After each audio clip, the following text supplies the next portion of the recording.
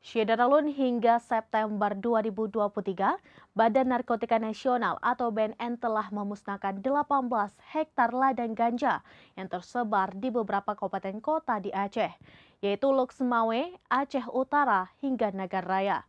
Pada Senin 2 Oktober 2023 kemarin, BNN kembali menemukan ladang ganja di ketinggian 1.300 mdpl Gunung Selawah Agam. Syedaralun Badan Narkotika Nasional atau BNN Pusat kembali menemukan ladang ganja di Desa Pulau, Kecamatan Selimum, Aceh Besar dalam operasi gabungan pada Senin 2 Oktober 2023. Ladang ganja yang ditemukan berada pada ketinggian 1.300 mdpl Gunung Selawah Agam. Tim gabungan yang terdiri dari unsur TNI Polri, BRIN, Bea Cukai, dan sejumlah instansi lainnya harus menempuh perjalanan selama 5 jam dengan kendaraan berpenggerak empat roda hingga berjalan kaki. Petugas menemukan sedikitnya 15.000 batang ganja yang ditanam di lahan seluas 1 hektar tersebut.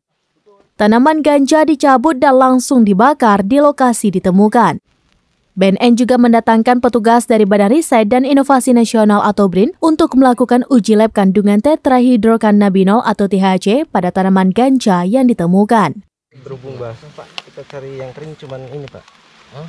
Daun. Oke. Daun yang yang kering. Dapat tuh yang kering. Iya, tadi udah. Penemuan ladang ganja pada ketinggian 1.300 mdpl ini merupakan pengembangan kasus dari penangkapan kurir ganja yang ditangkap oleh BNN beberapa waktu lalu.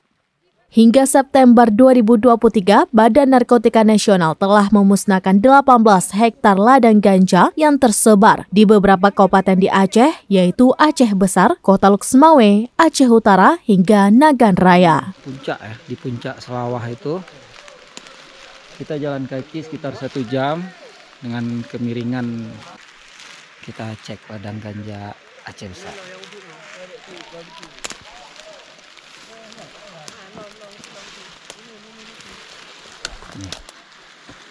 Dari Banda Aceh, Muhammad Ansar, Selaminus.com.